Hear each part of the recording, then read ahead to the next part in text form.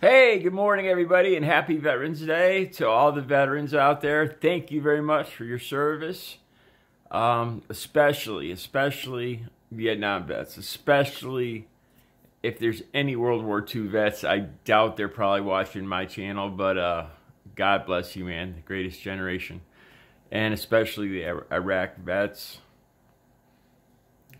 Thank all you guys, seriously. All right, onward to my video today.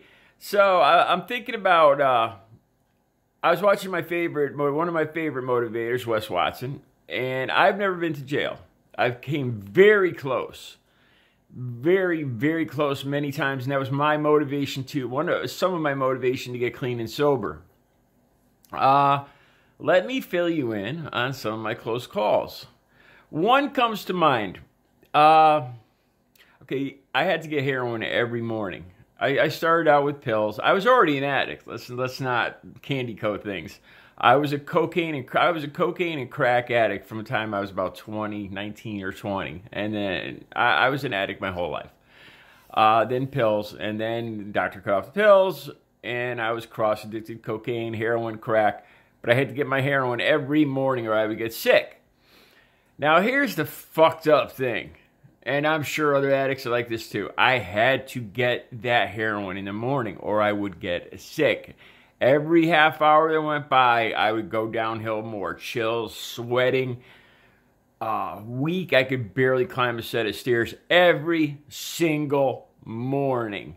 Have to go get five to ten bags every morning, thirty-five to sixty dollars every single morning. What if my dealer's not there? Panic sets in, and this is the fucked up part. If, okay, if you're a heroin addict and you take cocaine or crack or, or meth or any other kind of speed, it pushes whatever is left covering up those receptors in your brain, the opiate receptors, it pushes it off, pushing you into instant withdrawal and it gives you a, uh, a jittery, awful speed rush.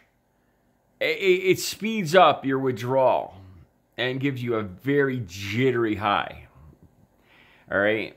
So, some mornings I go to call. This is back in 2004, 2000, 2001, 2002, 3, 4.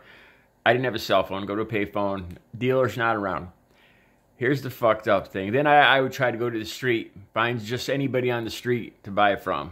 If I and this is like you know nine, eight, nine, ten o'clock in the morning. Sometimes it's hard. And here, here's where it gets bizarre. Now I couldn't get the heroin. I had lied or whatever to get this money to get my fix for the day. I would then, instead of going home and waiting a half hour or 15 minutes till a dealer did pop up, I would go buy crack. Knowing full well that it's going to make me feel a hundred times worse. But I could not go home with that money. I could not hold on to that money any longer. I had to get a drug, even if I knew that drug was going to make me sicker. I had to get it. Yeah, it, it makes no sense. And then I'm feeling terrible. So I take a few hits from the crack. I throw up in the passenger seat. I'm, I'm jittery. I, and then I, I would suck that crack down in 15, 10, 15 minutes. All gone. $40 for the crack. Gone. Now I have no, now a heroin dealer pops up and I have no money for the heroin. I'm twice as sick, in withdrawals, jittery, and I have to go drive another 10 miles back home, think of another lie, another way to steal another $40, even more sick now. And this would happen weekly. Makes no sense. I, I didn't even know why I did. Why can't I go home with this money? Why can't I just wait, sit for 10, 15 minutes till a, a, a, a opiate a heroin dealer pops up? But I couldn't do that. I had to get the, some kind of drug, any kind of drug, even if that drug was going to put me into a torturous situation. I had to get it. It's it's I still I still can't even figure the psychology out behind that.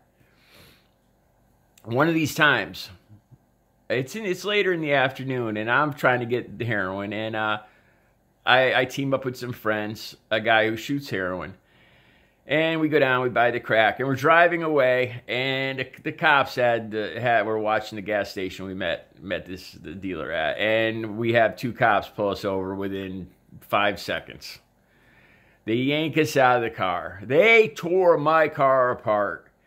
The guy with the crack sitting next to me threw the crack inside of a, a soda, a soda uh, with a straw. They never found that.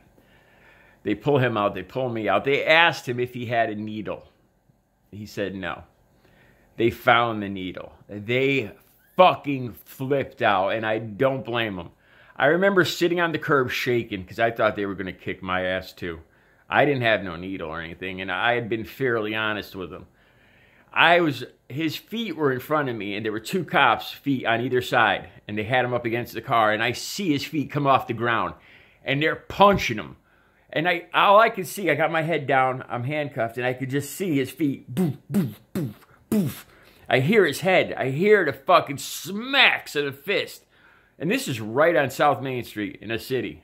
You know, cars going right by. They are beating the holy fuck out of my friend. Two feet in front of me. You know, I just see his feet vibrating off the ground, off the ground, against the car, hearing the smacks into the face. You motherfucker! You hype, you dirty fucking hype using boom, boom, boom. And I'm like, oh God, please don't, don't kill me. You know, and they tore the back seat out of my, I had a Thunderbird at that time, a Ford Thunderbird, and it was, I, I trashed it. Beautiful car. My mother sold me, trashed it. They tore the back seat out of it right there on the side of the street. Tore everything out. The, tore the middle console right out. Tore the car apart. Threw the south, threw the soda on the ground. Right? they end up taking my, fr- my friend away to jail. I drive home. I tell his girlfriend, hey, man, your boyfriend ain't coming home. He's in jail. She freaks out because she can't get her heroin now. All right. So, uh, surprising to me, about an hour or two later, he does make bail, comes back home. And he says, "Hey, let's go back and get the crack on the side of the road in the soda, in the soda, in the soda, in the soda, uh, the paper wax paper glass, you know, the soda soda cup. Let's go back and get it. I'm like, fuck you, man. Are you kidding? We know they're watching that gas station. They went back. They went back. I didn't go. I ended up getting my heroin. They come back. They're like this. We didn't find it. Anybody that knows, uh, when you do coke or crack or meth, your jaw starts grinding. Yeah. So they obviously were lying. They did because I paid for it and they didn't want to tell me they found it and smoked it all on the way back. And I didn't really give a fuck at that point. I was just glad I still had all my teeth. and I drove away and I wasn't in jail. Um, you know, and that was the end of the story. My friends lied to me. One got his, the same one that lied to me got his ass fucking royally kicked by the police. My car got tore apart yeah, fun night, man. Just just another average night.